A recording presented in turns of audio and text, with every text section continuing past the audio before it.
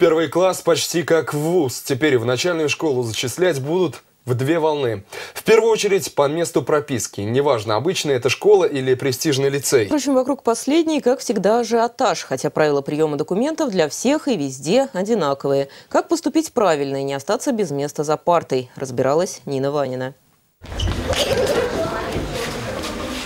Свою младшую дочь, как и старшую, Галина хочет отдать сюда, в 29-ю школу. Она рядом с домом.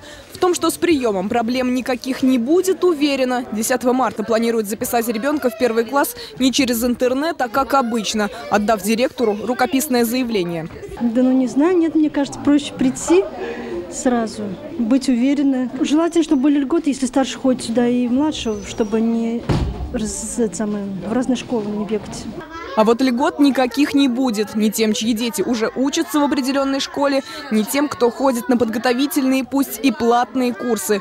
Приоритет один – территориальный. Вперед пройдут прикрепленные к школе по месту прописки. Для этого в 2013 году запускают две волны приема в первые классы.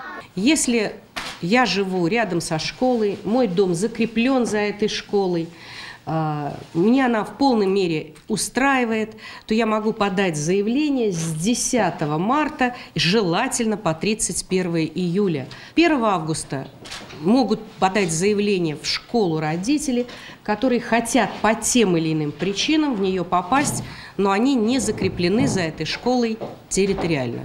Вот в чем отличие первой и второй волны. Ажиотаж вокруг лицеев и гимназий родители создают искусственно, уверяют в департаменте. Дежурить в очереди у ворот не выход. Электронная регистрация – единственное современное решение. Попадет ли ребенок в ту школу, в которую хочется, если не прикреплен к ней? В департаменте образования отвечают. Работает правило естественного отбора. В любом случае места хватит всем. По месту прописки ребенку обязаны предоставить место в первом классе. Нина Ванина, Александр Дмитриев. Новости губернии.